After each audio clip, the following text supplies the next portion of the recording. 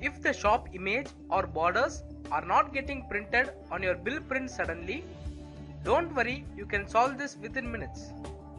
Click on Go and open your reprint menu. The reprint menu is available under the menu path Sales Reprint. Select the transaction and click on Go to load the bills. Preview a bill and you can find that the borders and shop image are not getting printed. Click on this printer setting icon. In the printer type, choose the printer type as laser or thermal receipt printer according to your printer. Click on apply.